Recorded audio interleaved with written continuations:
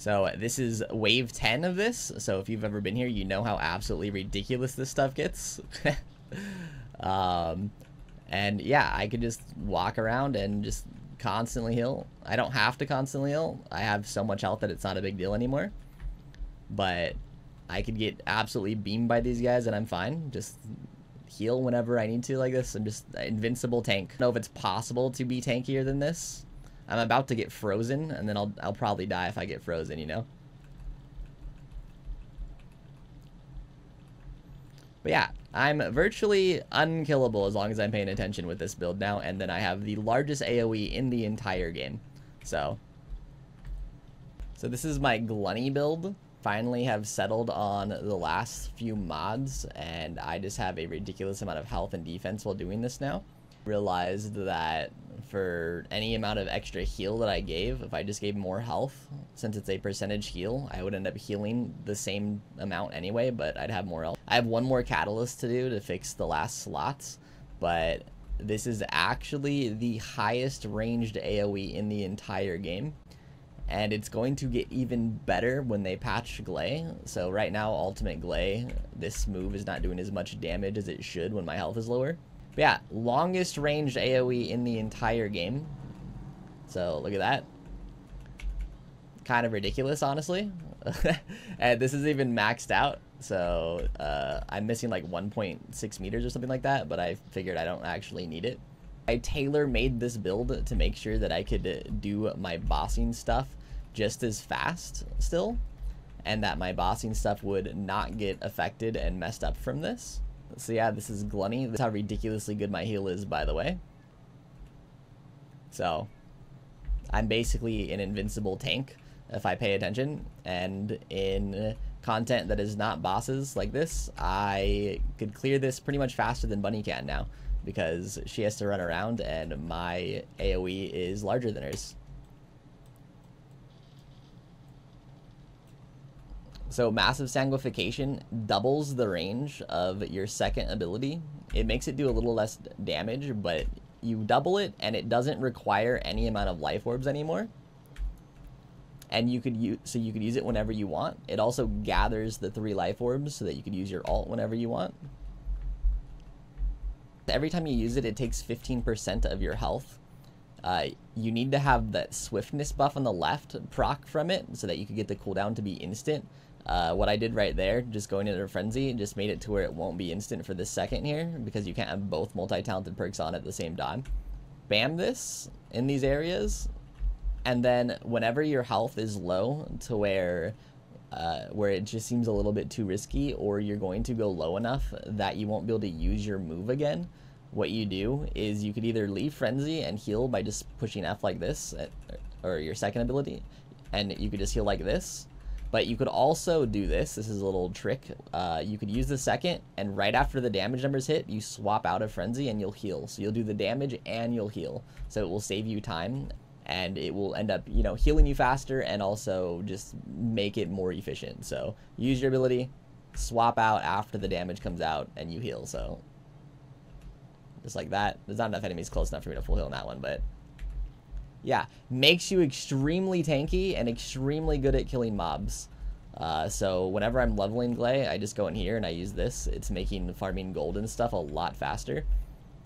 So I ended up using my bossing build against hard mode dungeons instead of this build. So this is basically just for normal mode, for any gold farms in the game. This is for the fusion reactor tower things. Use this one for just like all of that stuff because this one doesn't have the infinite ammo until I swap to the other preset. The crystal catalyst that I used, I made sure are all slots that will work for both so that I could swap between this build and infinite ammo build whenever I want to. If you switch out of frenzy state and use your third ability, you actually get increased recovery and you get to move faster too, so that's always nice. This is how you play Glunny just always try to have swiftness instead of the other perks of multi-talented. So right now, if I left Frenzy, right, and I go back into Frenzy, I'm going to have the attribute one, and that will mess up the cooldown. So you have to try to avoid that. See how the cooldown's longer now? So you need to try to make sure that if you do have to swap in and out, you swap out while the timer's there so that it doesn't replace it. And then you could keep the infinite cooldown going. Also, being at a uh, higher health threshold, instead of having the increased healing recovery, allows me to stay at lower healths easier without the risk of dying because half my health right now is going to give me around 8,000 plus health anyway. And because it doesn't heal me by as much, when I do heal, it's just going to keep me lower as well, so I don't end up losing a lot of my damage. This is wave 10, by the way, of this, where it's supposed to be dead time, you know?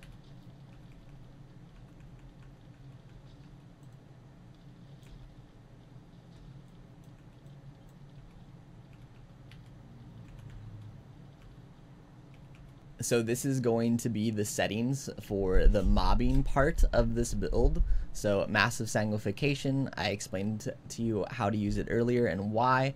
It is without a doubt the best mod that Gley has. It makes her so much more survivable. It doubles the range of your second. It makes it free to use your second and it makes it so that your second in Frenzy gives you three life orbs immediately. Whichever grapple of your choice, go ahead and put it here.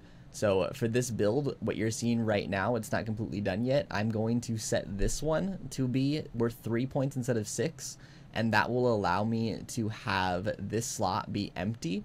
And because of that, I could transfer multi-talented to some other mods if I wanted to, but for the most part, I'm going to keep multi-talented on. So now this one, I am able to fit the increased HP here, uh, and then another HP over here. I had this on medical support before, but as I explained earlier, if you double your health, since this game always has like percentage based heals anyway, having 30% extra heal on like a 10% heal is not going to be nearly as much health gained per a heal as if you literally just double your health. So I just decided to double my health because more survivability, the game's easier, you die less, you need to heal less often, and it just overall just seemed to be the better choice. So yeah, maxing your health seems to be better than HP heal. So I have Spear and Shield, mostly for the extra skill power. If you feel like you need to be even tankier, it's only 8%, so putting this on a different defense is fine. I would put the blue defense just because you could use it on multiple characters and it is kind of expensive. But the one that's going to give you the most defense is going to be this one, Shield Conversion. So if you're trying to min-max defense, go for that. I don't think I need it, so I am on Spear and Shield for the extra damage. Stim Accelerant, this one is the one that gives you the most HP. I don't have it fully leveled right now because I still need to Crystal Catalyst this for the rest of the build. So you need all four of these, Nimble Fingers, MP Conversion, Focus on Dimension, Focus on Non-Attribute, focus on non-attribute that will give you the instant cooldown combined with multi-talented. So fitting multi-talented into the build i had to basically give up on Walk a Tightrope and dangerous ambush. But when i was doing the testing on like how fast i kill interceptors it was within like one to two second differences uh, because multi-talented also does give you the all attribute damage plus 30% every time you reproc your third ability which is your infinite ammo. When, so this will give you very similar damage to walk a tightrope when fighting bosses. And then you're going to want to go ahead and put both of these range mods here. So having that on and not having range on your reactor, you'll be at 34.4 meters on massive sanguification. So that is all the way back here that you could heal. So this is how far away you could heal and do damage with this now. I found that maxing the range and just doing that like slightly further isn't worth it because it is only to about here, I think.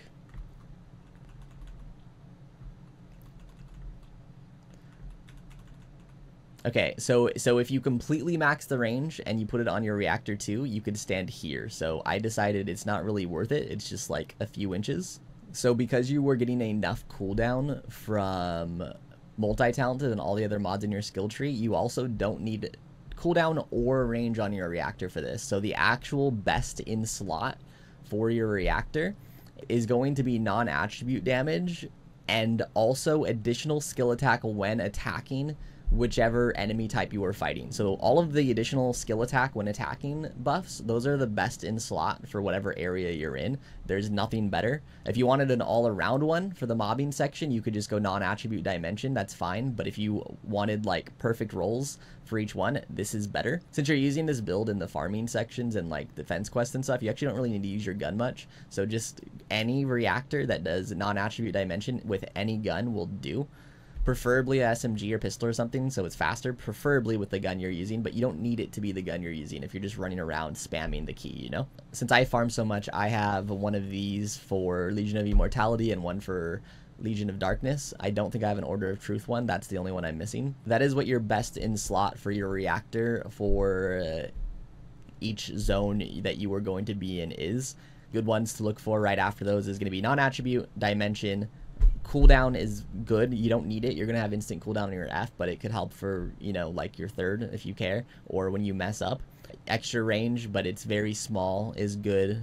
You don't really need duration with this one anymore. Skill cost would be good, but it's kind of such a small thing that I don't really see it as that worth it and HP heal. HP heal could be pretty good. Now, if uh, if you're going for the absolute most damage and you don't care about your health and defense, which honestly you probably don't need to worry about it at this point with this build, the Slayer set is probably the best one. I just have Annihilation set on because I have a lot of gold perks on it and it gives me a lot of health and defense. Mobbing section, you really don't have to worry about your firearm attack and stuff, but I just leave this on because I'm going to use it up for bossing and stuff anyway, and it's just a good set in general you could end farming. This is just super easy against devour. Health on this one and then on this one if you like are going for tankiness and stuff you could do double defense. Since this is a build that i'm using in farming for the most part i've used my gold drop rate firearm. And then for this one i usually have the character consumable drop rate on. And then this one max hp module or kuiper modules give you kuiper anyway when you get duplicates so it's a good one anyway. But yeah you, you're definitely going to try to get max hp on this one so this is my bossing build. This is the one that's kind of messed up more until I crystal catalyze my character one more time. So on this one, I have the HP. This this one is going to become Stim Accelerant when my Stim Accelerant is maxed out. And then I have Battle of Stamina. So I could fit this because I have a gold cooldown reactor. You might not be able to fit this. You might have to do a different one and I'll show you what in a second. And then this mod is going to become Spear and Shield. So I can't fit it right now, but it will become Spear and Shield. And yeah, multi-talented stays on. It's the 30% extra attribute damage bonus and it actually is really good and multi-talented is just cheaper at max than some of these other ones. I tested Dangerous Ambush and Walk a Tightrope only at 13, but it's like a second or two difference. Most of the time it's identical whenever I fight bosses, so I figured since multi-talented is so good for my other build, I am fine not being able to equip the other ones if I can't. So, uh, so on this one, what you're going to change is you are going to remove the purple skill expansion, the one that reduces your damage, and you're going to replace it with this skill duration. Then you need to replace one of the HPs with battle of stamina for the 8.8% duration. And then for this version of it, you are going to need a reactor that has a good enough cooldown. So let me just check this one if it does or not. So this one would not work. So I have gold cooldown mod Thunder Cage builds and Python builds. So for this one, I have a duration up and a skill cooldown one. That works as well. And that will make my duration longer than my cooldown, and that is what you need for this to work. So your duration needs to be longer than your cooldown. If you do not have a reactor where this works, there are a few things you could try. You could try trading this blue one. If you are having survivability issues, trade this blue one for maximum duration. So you're going to lose some damage, but that might be the duration that you need for this to end up working for you. But what is most likely going to happen if you don't have a good enough cooldown, I think you need around like 0.7% cooldown or you need a 0.6 and a duration up one. And if you're having issues surviving, you could remove this one now and you could go ahead and slot in the higher health ones instead. So you would do that and then you could go ahead and put back in Stim Accelerant and your health will go back up. Your defense is going to go down, but you'll have enough health to not worry about it. And that will also give you the duration a lot longer than the cooldown. And honestly, that one might just be a little bit easier anyway to have the duration like a whole second longer than the cooldown. But I usually notice the cooldown comes up on the bottom and that's my cue to push it again. Go ahead and put both of these on too if you don't need the health or the defense. The reason I'm putting Spear and Shield is actually going to be for the damage, but that does end up getting you up to 9 seconds duration, which is just really nice what my Thunder Cage is built like. I use Mental Focus because if your duration is longer than your cooldown, you could permanently keep up this 150 stacks. And I just have Chill on it because it's what fits right now. If I wanted this to be the highest damage ever specifically for bosses, I would probably remove the Chill enhancement and go ahead and put Have Aiming on as well. and then this would be even better. But the thing about Thunder Cage is it is really, really, really good against mobs. So I like leaving it just like this because Elemental cannot weak point hit, but it does do 30% of the damage of the gun, and that damage can crit. So it is nice to have when you are mobbing. On my Vestigial, I actually have different ones for different areas because again, the against enemies are the best in slot mods. It's like a flat damage increase that then gets multiplied on top of, I believe. I have all of the elements maxed out except fire right now. And I ideally you actually would have electric on all of them. Right now I have them with like the correct element most of the time. But if you get attribute status effect trigger rate and electric, and then you just go ahead and put all of the elemental damage on the mods itself instead, then electric damage lowers the defense of enemies. So when I'm fighting bosses, this is what mine usually looks like. I have different elements for each one. I'll put real life fighter. Uh, when I am using it for mobs, I'll have lethal finish on. Uh, but yeah, since this gun doesn't really weak point much and it doesn't crit, just having the flat damage of the element that they're weak to is the strongest thing you could do for it. But I still think overall the electric one is the best because electric reduces defense. So if you were going to only do one element, I suggest doing electric. My sniper is not done. I'm using piercing light because I'm using this mostly to break the orbs on Frostwalker and also to break in rage tubes. And in rage tubes do not count as weak points. So I was trying to build this gun more around critting and flat damage than I was weak points. But when I max this thing out, I'm going to have the weak point ones maxed as well. This is my Python. I'm not done with my Python yet because I've hit the point on it where the only thing I could really increase on it is going to be crit chance or element. So I'd have to max out an element or I would have to level crit and I just don't know what to do with it because it's only good to level crit on this gun if you are rolling with an Enzo gives you the permanent like high crit ammo. If not, I think you want to do element and this one came base with toxic so I'll probably just make it toxic for other characters. I'm going to show you everybody's favorite devour with this.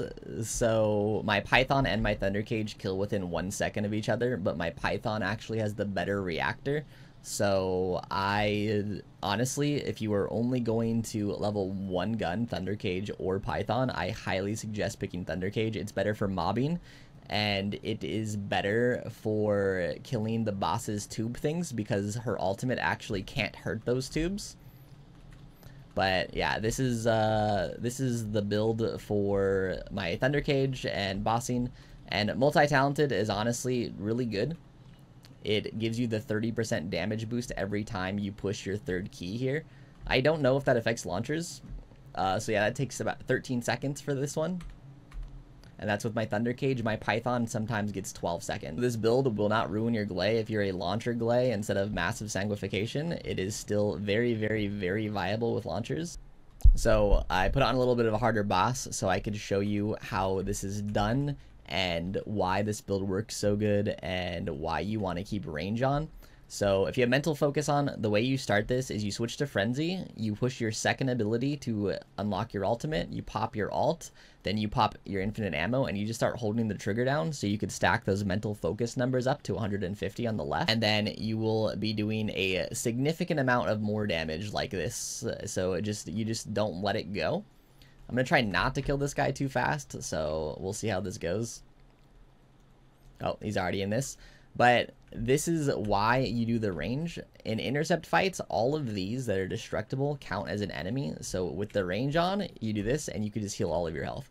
So you never have to worry about your health again, really, uh, in interceptor fights. And you get to be just like ridiculously tanky. So I could just sit in here and I could just stand in this stuff and I'm fine. Whenever there is any type of encounter now, my defense is really high, my health is really high. Whenever I am with other groups of players and somebody needs to do something where we can't let them die, it's gonna be me.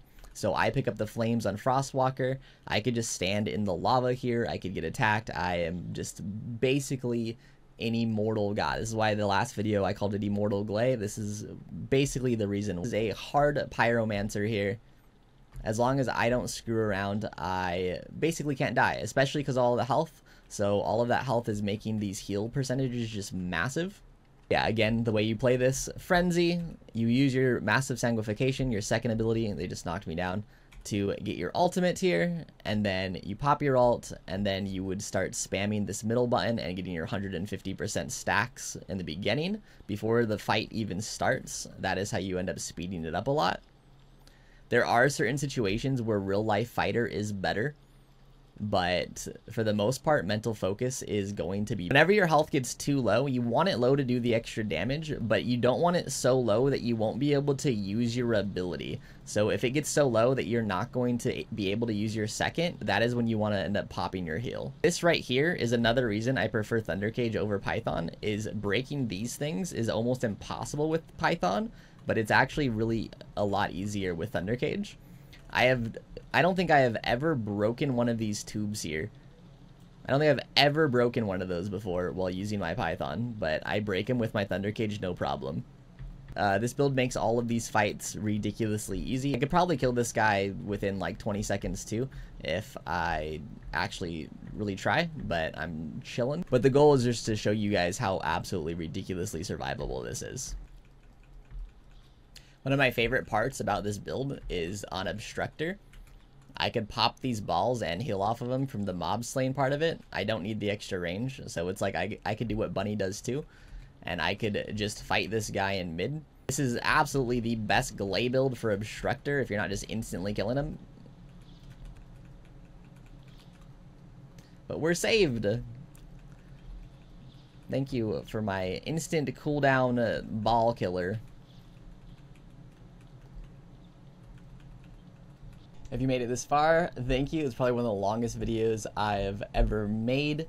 I have been streaming on Twitch and TikTok, twitch.tv slash GameSager. All my stuff is GameSager, so I put a lot of shorter guides on TikTok. And yeah, thank you guys for watching. Hope you like, comment, and subscribe. And that's my creator code. If you put it in at creators.nexon.com, it helps me out a lot whenever you buy stuff in game. So yeah, I'll see you guys next time.